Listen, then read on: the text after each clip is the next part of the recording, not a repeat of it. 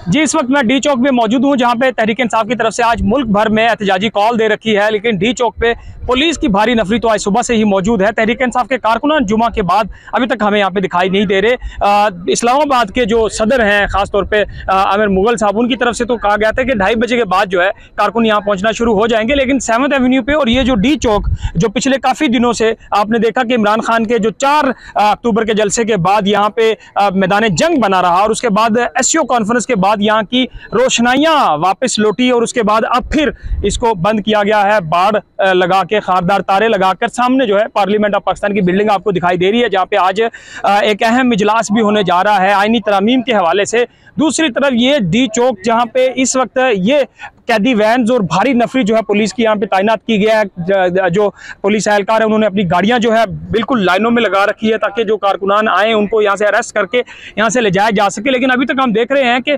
मुख्तलिफ़ अतराफ में डी चौक के पुलिस और रेंजर्स की भारी नफरी तैनात की गई है, लेकिन कारकुनान यहाँ पे अभी तक नहीं पहुँचे। तहरीक इंसाफ का आज का जो मुल्क गिर एहतजाज है तमाम शहरों में, पहले तो खैबर पख्तूनखा से काफिले डी चौक पहुँच रहे थे और ये सिर्फ़ डी चौक का एहतजाज था पिछला, लेकिन आज हमने देखा है कि ये तमाम शहरों में एहतजाज हो रहा है और इधर हलचल तो है डी चौक पे, लेकिन कारकुनान की नहीं, बल्कि